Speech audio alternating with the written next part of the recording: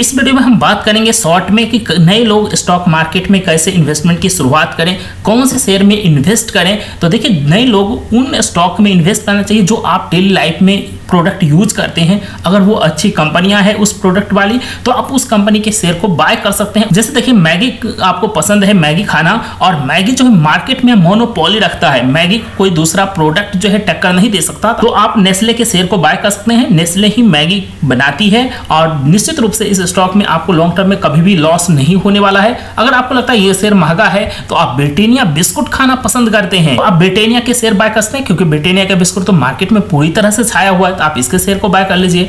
अगर आपको लगता है कि एच बैंक जाते हैं, इसके सर्विसेज़ काफ़ी अच्छे लगते हैं तो आप एच बैंक बाय कर नहीं तो लगता है आपको कि एच बैंक नहीं, कोटक बैंक का सर्विस ज़्यादा अच्छा है तो आप कोटक बैंक बाय कर हैं। वो नहीं है तो आई बैंक को बाय सकते हैं। कभी भी आपको लॉन्ग टर्म में इन सारे शेयर्स में लॉस नहीं होगा।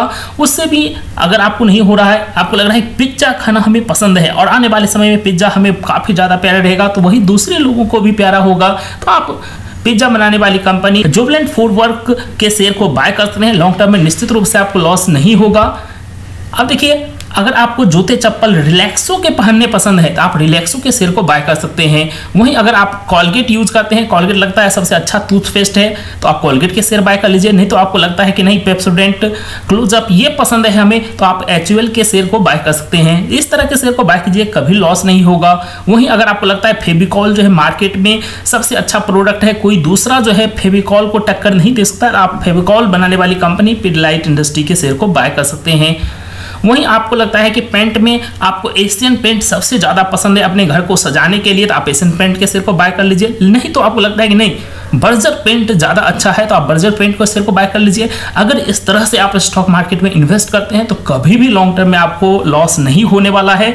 मेरा मानिए, और इस वीडियो को अपने सभी दोस्तों के साथ शेयर कीजिए कि किस तरह के शेयर में आपको कभी भी लॉस नहीं हो सकता है, और प्रॉफिट तो निश्चित रूप से एक मल्टी बैगर रिटर्न के रूप में मिलेगा। और इसी तरह के एजुकेशन और इंफॉर्मेटिव वीडियो को देखने के लिए इस चैनल को ज़रूर सब्सक्राइब कर लीजिए।